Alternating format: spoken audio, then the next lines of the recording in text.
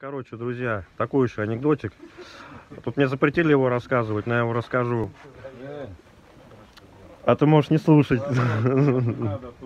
Все, меня уволят, да? Короче, заходит это мужик в баню, вот, раздевается, заходит в зал, чтобы помыться, а тут к нему друзья подходят и говорят, Нифига себе, какой у тебя громадный. Это как у тебя так он э, отрос?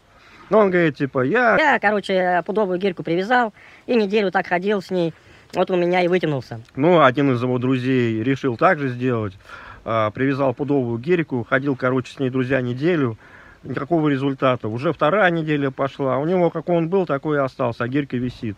Но он решил а, 10-килограммовую гирьку привязать, А, привязал, опять же, так же ходит неделю, почти никаких результатов, может быть, чуть-чуть там оттянулся.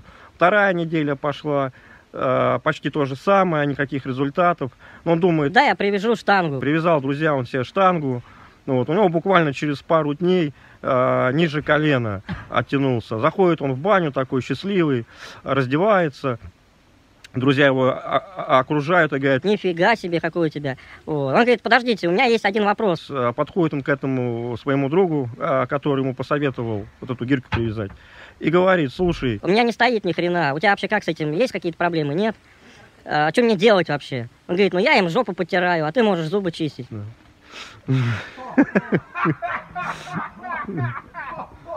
о,